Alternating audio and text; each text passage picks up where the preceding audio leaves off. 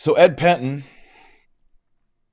questioned P. Fizzer themselves and said, "Hey, did did uh, your CEO go and to the Vatican and meet with Pope Francis?" And they said they can neither confirm nor deny that information.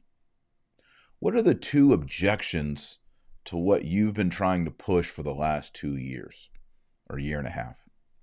Well, there's a moral objection that these medications, injecciones, then the, the second problem is is a health problem. Do they work? Are they effective? Um, if you get them and you get boosted and you do everything they tell you to do, uh, you're you're going to be able to go on with your life, right? Like go out in public, not wear things on your face, never get sick again of this certain disease. Well, it turns out maybe not. Seems like everyone who went along and did the boosters and all that, they all ended up getting sick. If you were able to get him to come on board and tell everybody the P Fizzer injection is awesome. Everybody should do it. In fact, I'm going to get it.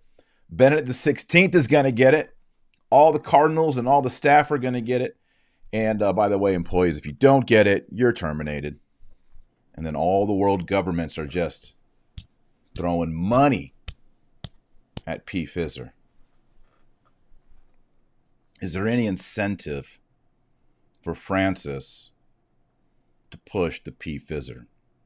It's been noted by a lot of people in the last 24 hours that the Vatican exclusively uses the P. Fizzer, not the others.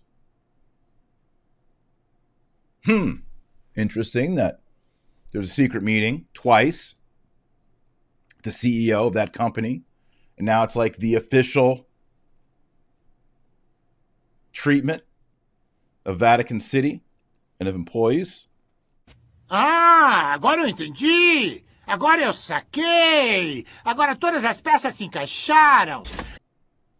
Maybe it's a coincidence.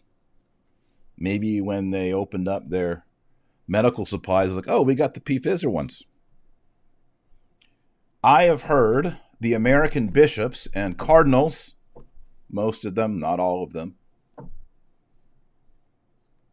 preach with conviction about the beauty, the promise, the goodness, the truth of these treatments, and how there's a moral obligation to live a chaste life. No, moral obligation to defend traditional Catholic marriage. No. Moral obligation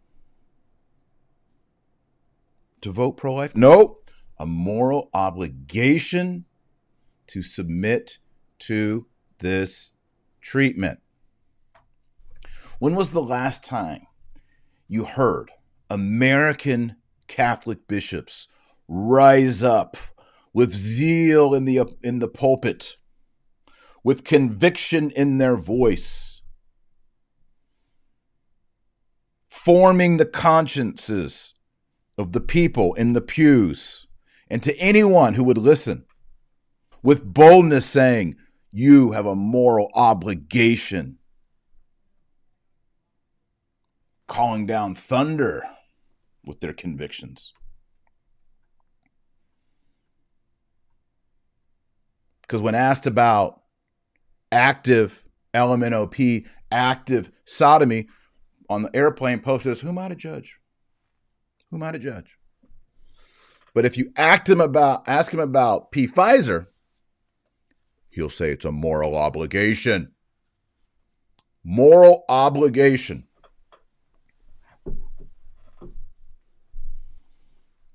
Two men living together? Who am I to judge? I'm just the Pope. Hey, should we get this P Fizzer injection? Moral obligation.